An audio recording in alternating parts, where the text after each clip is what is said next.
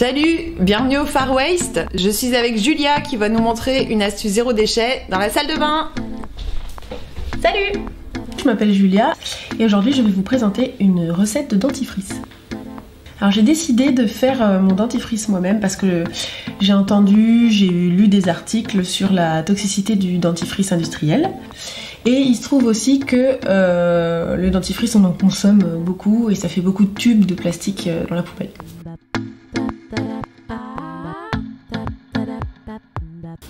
Alors pour faire ce dentifrice, j'utilise de l'huile de coco, une huile essentielle, euh, alors moi j'utilise du citron ou de la menthe. Alors tout simplement, soit je plonge ma brosse à dents dans le pot, soit je prends un peu avec mon doigt qui est propre, je mets sur ma brosse à dents. Hmm. Aujourd'hui, je suis d'humeur citron. Je peux également préparer à l'avance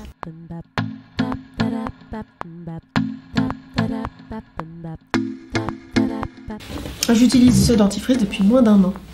Si je devais faire un bilan euh, de cette euh, recette de dentifrice, euh, je trouve que j'ai meilleure haleine plus durablement. Je trouve que c'est moins agressif que le dentifrice au niveau sensation mentholée dans la bouche et tout. Je trouve que le dentifrice c'est hyper agressif. S'il arrive que je suis pas chez moi et que je dois me laver les dents avec un dentifrice euh, classique, je le fais. Mais euh, je rachèterai pas pour mon usage personnel du dentifrice qu'on trouve en supermarché.